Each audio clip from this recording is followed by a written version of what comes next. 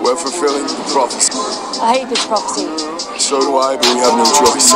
Surtur destroys Asgard and destroys Hela so that our people may live. But we need to let him finish the job, otherwise